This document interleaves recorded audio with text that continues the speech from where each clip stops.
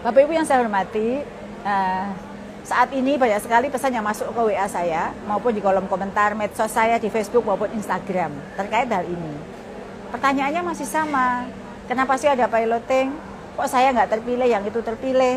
Saya sama-sama satu uh, daerah, saya terpilih, yang uh, dia terpilih, saya tidak. Apa piloting juga sudah cukup untuk dijadikan acuan data dalam pembukaan masif nanti?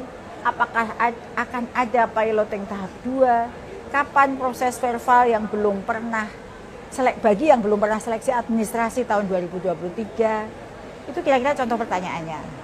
Saya akan menjelaskan semuanya termasuk uh, rencana untuk piloting tahap 2, Bapak Ibu ya.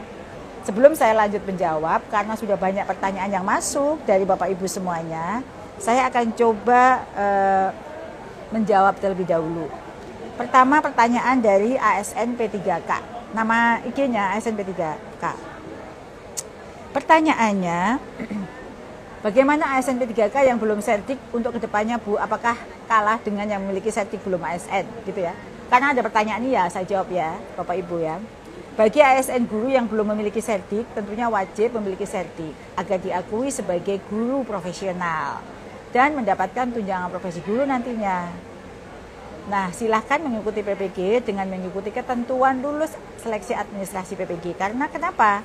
Karena ada syaratnya bagi yang sudah aktif di Dapodik sampai tahun ajaran 2023, 2023, 2023, 2024, maka berhak untuk mengikuti PPG guru tertentu. Lalu ada pertanyaan kedua ini dari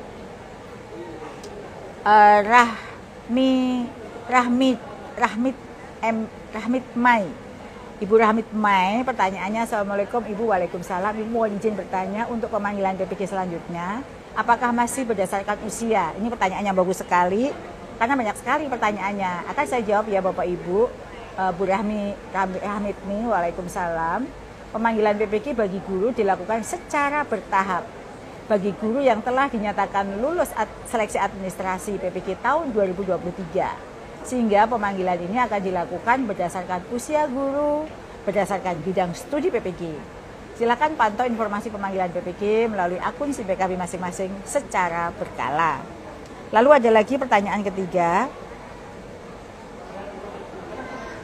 Uh, pertanyaan ketiga, ada banyak pertanyaan jika Bapak Ibu berubah, uh, pertanyaannya begini, jika Bapak Ibu berubah bidang studi saat mengajar. Ini pertanyaannya terkait uh, dari Ibu Anisya Daulay yang bertanya saya tahun 2022 ikut pretest ujian PPG dengan mata pelajaran bahasa Inggris. Apa nanti saya tetap dipanggil dengan mapel bahasa Inggris? Walaupun saya sudah pindah ke guru kelas, kan kebijakan P3K ini pindah ya. Bahasa Inggris bisa menjadi guru kelas. Nah, bagi Ibu Anissa Daulay yang bertanya, dan uh, sejenis ya dengan nasib yang sama dengan Ibu Anissa, bagi Bapak Ibu guru yang telah lulus seleksi administrasi PPG tahun 2023, maka jika Bapak Ibu mendapatkan pemanggilan sebagai peserta piloting, e, maka bidang studi yang akan tercantum sesuai dengan pilihan bidang studi yang telah Bapak Ibu pilih saat seleksi administrasi. Dulu kan seleksi administrasi ya, dan di situ kan sudah ada nih Bapak Ibu milih bidang studi apa, e, sesuai dengan itu.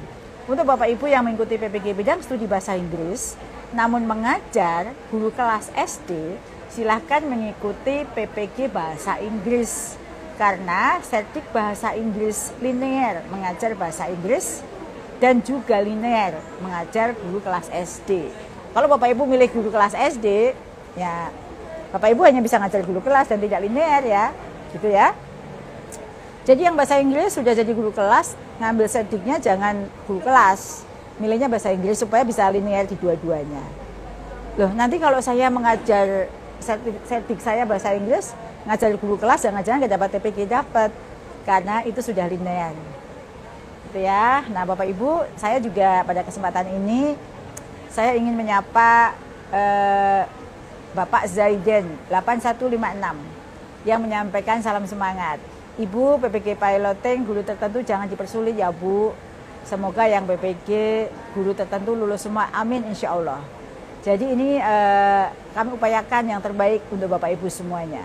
Ya.